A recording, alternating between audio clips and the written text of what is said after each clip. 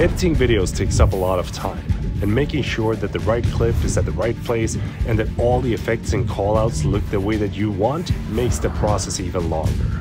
But time is usually something that we don't have too much of. So what if I told you about a few things that I do in the editing process that can speed up the way that you edit your videos immensely? Mm. This is gonna be a good one.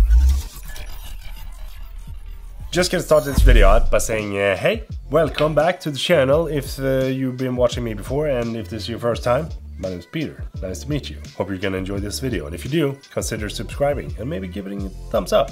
That'd be highly appreciated. Editing videos is half the work of creating a video. You go out and shoot the things that you want to shoot, but then you have the rest left. You need to piece everything together into something that is intriguing and interesting for someone else to watch. And a couple of things that I do when I record these talking heads is doing crop ins and crop outs. If you're doing this within Final Cut Pro without any plugins, it's kind of a tedious process. It's simple, but it's a tedious process and it takes up a little bit more time than I would wish for. So instead of going into the inspector every single time that I'm gonna increase the scale of a video, what I do is that I use the zoom in element from the MKBHD plugin pack. I'm gonna drop a link in the description down below. And then I drag that on top of the first zoom in that I want to do of the talking head. Then I adjust the amount that I want to zoom in.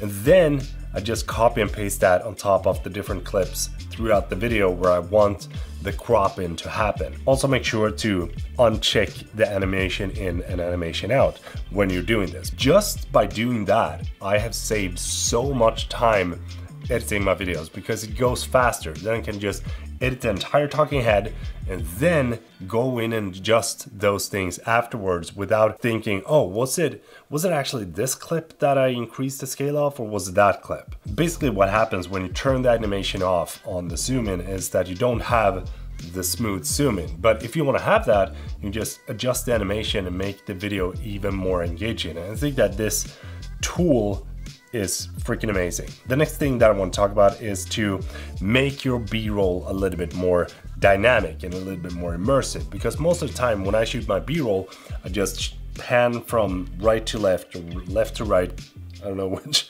which direction what we here, but uh, oh. and most of the time that actually works because it looks good, it looks smooth. It's like you have a nice pan going in the direction that you're panning. What you can do is that you can take the constant zoom again from the MKBHD pack, add that to your video at the same time as you're moving from one side to another, you can also zoom in a little bit on the product, which makes it look way more dynamic and it makes it look even more planned out in a way. So going from kind of a, you know, boring shot into something that is a little bit more interesting. The cool thing with the constant zoom is that I don't only use it for when I'm making my b-roll. For example, if you've seen the cinematic video that I shot together with my friend, Erik Granqvist, then I use this technique to make the clip come alive a little bit more, adding on the nice constant zoom effect to enhance the dramatic feeling of the clip is something that you sometimes just can't do when you're shooting the video because maybe you don't have a gimbal or maybe you don't have the focus set to the right position and just stand there static but you still want to have the handle look, then this is a perfect complement to do that. And if you look at a timeline right here, then you can see that I've been using these constant zooms and zoom ins a whole lot throughout the entire video. I'm gonna drop a link in the description if you wanna head over there and check that video out. And again, you can do these things just by keyframing in the inspector, but it's also gonna take you a whole lot more time and you're also gonna miss out on all the other good stuff that the MKBHD pack has to offer. For example, if you want to add some vertical content in your videos without duplicating the clip and expanding the scale and then adding on stuff, then you just drag and drop that and boom, you get a vertical clip that you can attach that looks good because it's already blurred out the background or duplicated. There's some magic going on there that makes it look good. If you've watched some of my YouTube videos on here, then you probably have seen these kind of callouts. And if you purchased my Final Cut Pro course, then you probably have seen the picture in pictures that I use in that course to help you you know, learn the stuff that I talk about. And those effects actually comes from the plugin M Channel Cyber that I've been a part of together with Motion VFX to be able to provide you with some of the best things that I think you should have as a YouTuber and content creator. What I like the most about these callouts is that you can adjust almost anything.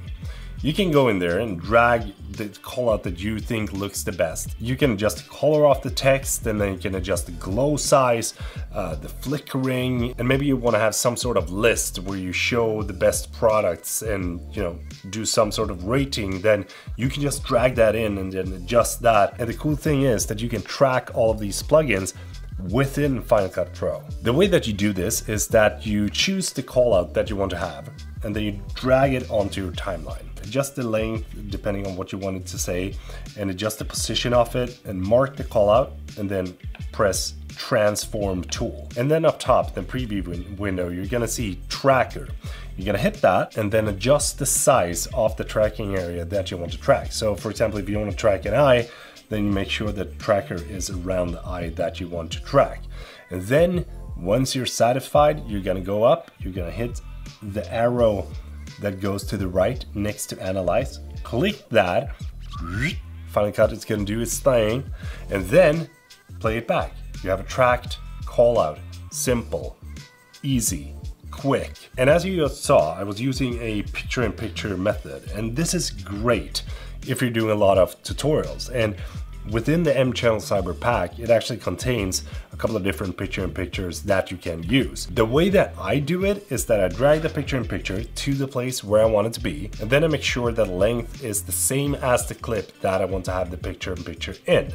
I mark the clip down below, hit Alt-G, and then create a compound clip from that, and then go in to the picture-in-picture, -picture, choose drop zone, click the arrow, and then go down choose the clip that we just made as a compound clip, and boom, you're done. I, I don't know if there's an easier way to do this, but this is the way that I've learned, and there might be some simpler way. And if you do know a simpler way, please do drop it in the comments because I would love to know. But this is also something that saved me a lot of time instead of scaling down and keyframing in and out points and doing all of that. So just drag it out, make sure that you have the place bam, you're done. And then we have something that looks like this, which is selectors. So if you want to highlight something in the video, when you're talking about the product, then you can just add these in. So nice clean animation. By using these, you also make your dull B-roll footage a little bit more alive. I think that when you're doing tutorials, for example, highlighting where the mouse is or where the mouse is clicking is a great way. And this is a method that I used when I was recording or editing all the course episode for my Final Cut Pro course.